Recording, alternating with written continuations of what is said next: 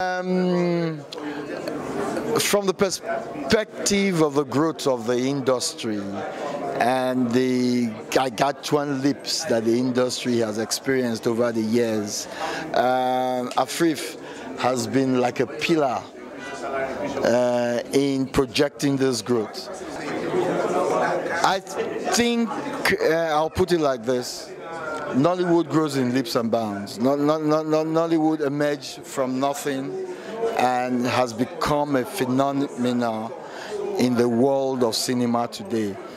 Um, Nollywood has been able at every time to rise up to the challenges that are thrown to it.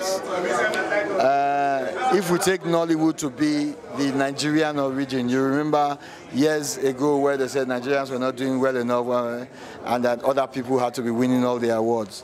Nollywood rose to that. Nigeria rose to that.